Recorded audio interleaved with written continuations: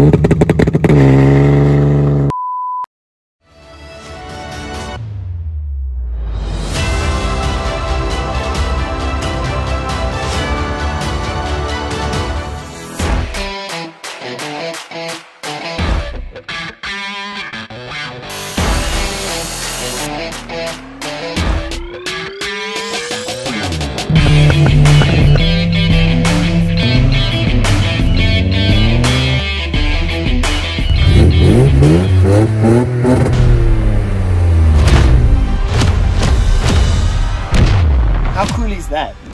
Finally got the projector screen on.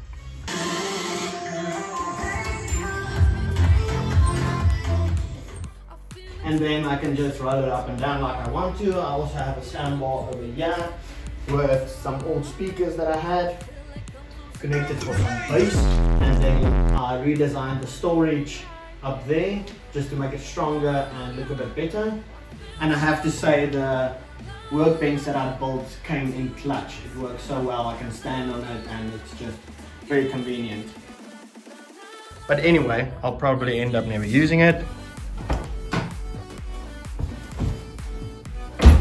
I haven't made a video in quite a while, but in the last one, we did establish that it can do massive burnouts without the engine falling out.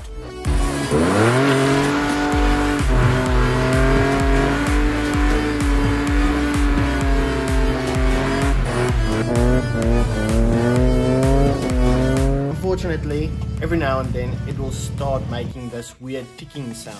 Yeah, let me stop before I break something. As well as having a really hard time starting up in the morning.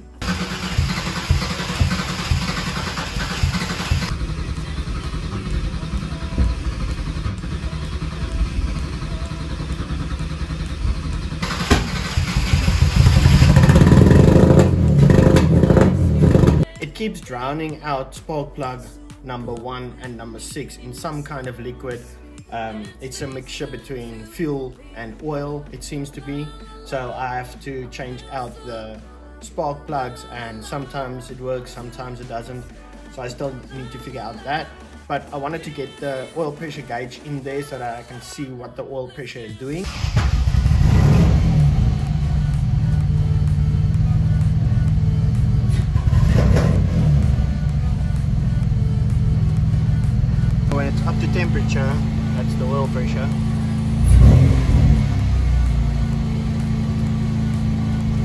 And as soon as you get up in the higher RPMs, the oil pressure does drop.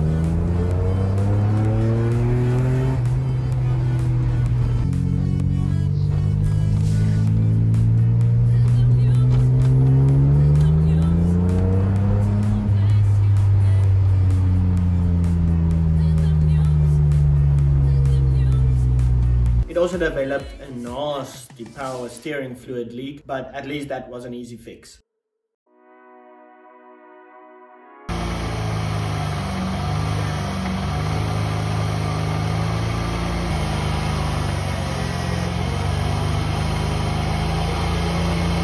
In my last video, I asked you guys if you might know what it can be, and I got this comment. So thanks a lot to this guy for suggesting the thicker oil, and I will be doing that. The oil I used before was a 15W40, and now I'm gonna try this Shell Helix HX320W50. It's for diesel and petrol engines, and it says high mileage, so hopefully it's a bit thicker, and it'll solve our problems. So let's get the oil changed out.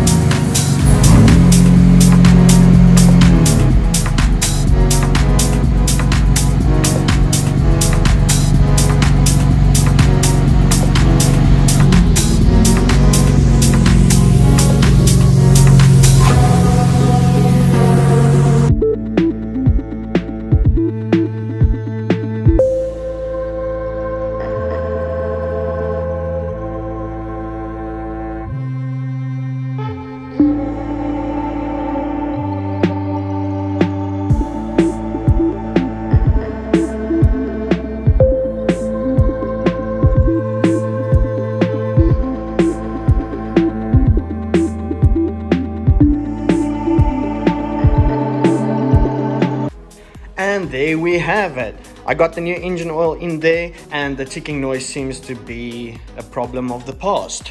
So over the weekend we did some more testing on the car, so here's a few clips of that.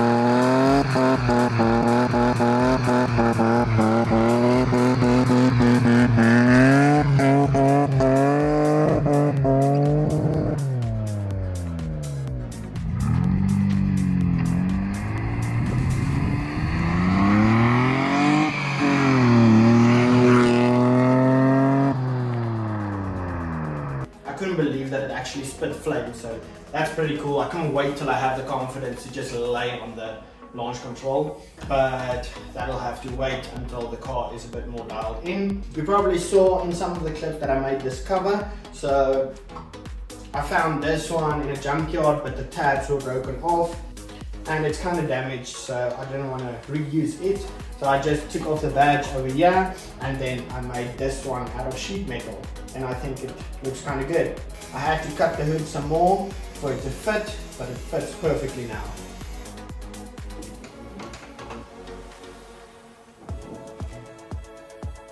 And thanks again for that comment. To me that's that's pretty amazing um, that people are willing to help. Now you have to remember that I got this engine in a junkyard, so it did not look pretty. Here's a picture of how it looked before.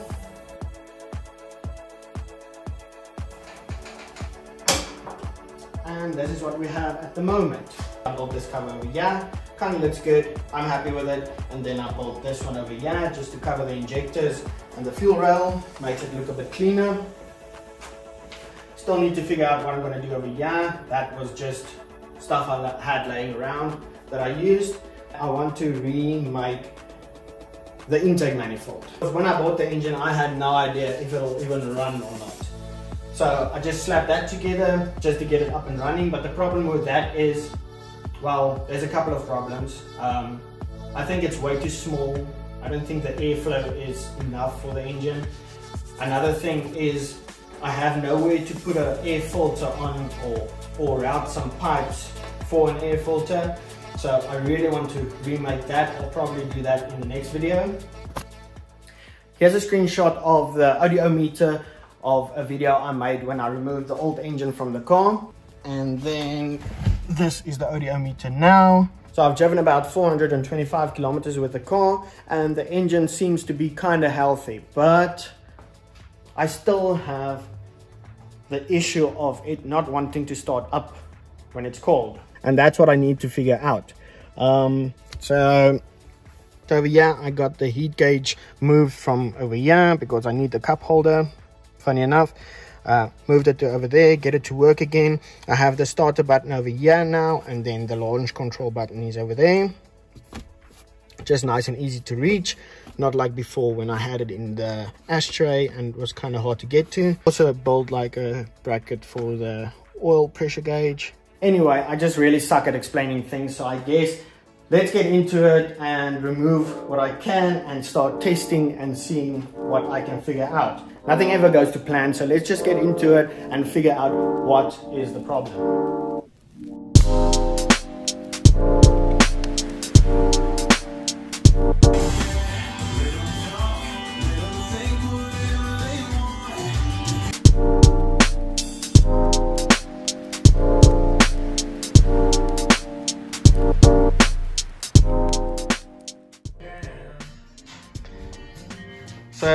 Get this intake manifold off.